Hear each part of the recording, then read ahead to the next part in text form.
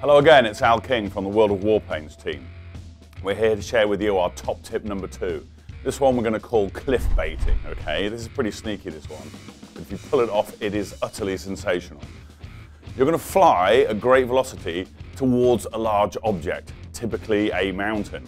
There are quite a few mountains inside our map, so look for a big lump of masonry, yeah? Just fly at it as hard as you can. You're going to have somebody that's on your tail, yeah?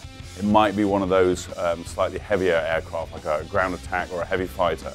You're in a fighter, right? You're, you're nimble. You're going to exploit the fact that you're highly maneuverable. Head towards that cliff.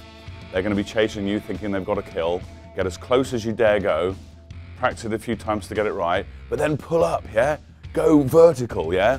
Get out of the way. And then literally press right click, look around, and what should happen if you've done it right is that that heavy fighter is going to slam into the side of the mountain. Game over, man. That's what we call cliff baiting, and that's my top tip number two.